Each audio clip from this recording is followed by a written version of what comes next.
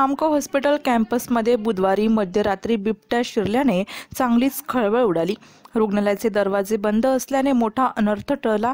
नामको हॉस्पिटल कॅम्पसमध्ये multi speciality cancer विभाग रुग्ण व त्यांच्या नातेवाईकांसाठी निवास भोजनासाठीचे सेवा सदन आणि परिचारिका महाविद्यालय आहे. त्यामुळे येथे नेहमीच वर्दळ असते. रात्री सुरक्षेसाठी काचेचे दरवाजे बंद केले जातात. मुख्य प्रवेशद्वारावर मोठी काच लावलेली आहे. तिथपर्यंत बिबट्या आल्याने त्याने स्वतःचेच प्रतिबिंब आरशात पाहिले आणि म्हणूनच तो माघारी फिरल्याचे सांगण्यात येते. रात्री हॉस्पिटलचे एक्झिट गेट बंद केले जाते तर एंट्री गेटवर सुरक्षा रक्षक तैनात असतात.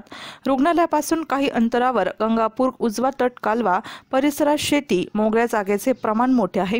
यापूर्वी मखमलाबादसह शहर परिसरात नेहमीच बिबट्याचा वावर आढळून आलाय. हा बिबट्या त्यापैकीच एक असावा असा अंदाज वनविभागाने व्यक्त केलाय.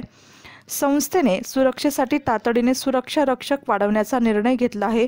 तसेच कॅम्पसमधील लाईट्सची संख्या वाढवली जात आहे. नाशिक सिटी न्यूजसाठी प्रतिनिधी राजेंद्र साखरे नाशिक.